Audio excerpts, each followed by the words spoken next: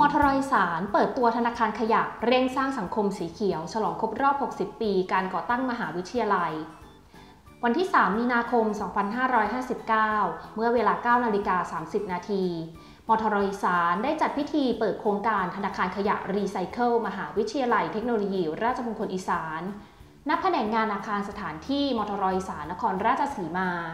โดยได้รับเกียรติจากผู้ช่วยศาสตราจารย์ ดรวิโรธลิ้มไขแสง อธิการบดีมทรอีสาน เป็นประธานเปิดโครงการ ร่วมกับนายกัมปนาตบุตโต รองปลัดเทศบาลนครนครราชสีมาโดยโครงการดังกล่าวมีวัตถุประสงค์เพื่อสร้างระบบการจัดการขยะให้มีประสิทธิภาพ ลดปัญหาสิ่งแวดล้อมจากขยะมูลฝอย เป็นการสร้างมูลค่าเพิ่มและรายได้จากขยะรีไซเคิล ปิดโอกาสให้นักศึกษาและบุคลากร มีส่วนร่วมในการจัดการขยะอย่างเป็นระบบวัตถุประสงค์หลักของมหาวิทยาลัยก็คือ เราต้องการให้มหาวิทยาลัยเป็นสิ่งเดียว การจัดการขยะคือเป็นหนึ่งโครงการของโครงการกรีนยูนิสตีของมหาวิทยาลัย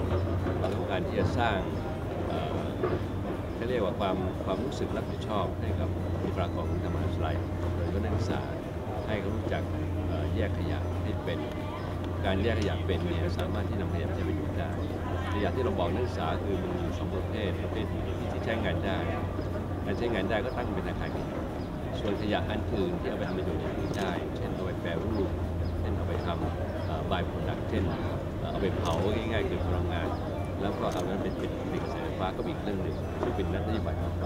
แต่ทางขยะเนี่ยถ้าเราต้องการให้นักศึกษาเนี่ยรู้สึกว่าเขาเป็นส่วนร่วมของสังคม จจุบันจำนวนขยะภายในมหาวิทยาลัยเราเป็นขยะในมหาวิทยาลัยณขณะนี้เนี่ยมีปริมาณที่มากพอสมควร ซึ่งในเชิงปริมาณเนี่ยผมมองว่าถ้าเราไม่จัดการดีๆแล้วเนี่ยปัญหาที่สังคมได้รับต่อไปเนี่ยมีปัญหามากเนื่องจากเรามีนักศึกษาประมาณหนึ่งคน การจัดการขยะโดยเฉลี่ยสอคนเนี่ยก็เกิน 2 กิโลกรัมต่อคนเพราะเมื่อเอาเอาหมื่นคูณเนี่ยเป็นปริมาณที่มากมหาศาล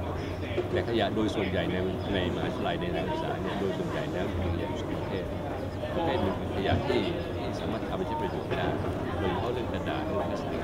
เราให้จัดการเรื่องนี้โดยขยะที่มันไม่มีประโยชน์เราก็จัดการโดยระบบของมันเช่นเอาเอาไปทำแปรรูปเอาไปทำเป็นรีไซเคิลไปทำเป็นแมสเป็นแก๊สต่างๆทั้งนี้มีการเราจะต้องจัดการให้เกิดในส่วน ซึ่งทางมหาวิทยาลัยได้นำเรื่องของขยะมูลฝอยมาประยุกต์ใช้ในการเรียนการสอนตามความเหมาะสมของแต่ละคณะ ตัวอย่างเช่น คณะศิลปกรรมและออกแบบอุตสาหกรรม ที่มีการเรียนการสอนให้นักศึกษานำขยะและเศษวัสดุเหลือใช้มาสร้างมูลค่าเพิ่ม คณะวิศวกรรมศาสตร์และสถาปัตยกรรมศาสตร์รวมสร้างนวัตกรรมเครื่องผลิตน้ำมันจากขวดพลาสติก และคณะบริหารธุรกิจร่วมส่งนักศึกษา ทำกิจกรรมสร้างรายได้สู่ชุมชน ด้วยขวดน้ำพลาสติกเป็นต้น โดยโครงการดังกล่าวจะเริ่มให้บริการภายในมหาวิทยาลัย และขยายวงกว้างไปยังชุมชนโดยรอบ และในจังหวัดนครราชสีมาต่อไป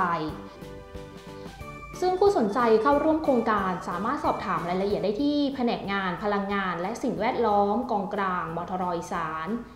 โทรศัพท์ 044 233 000 ต่อ 2234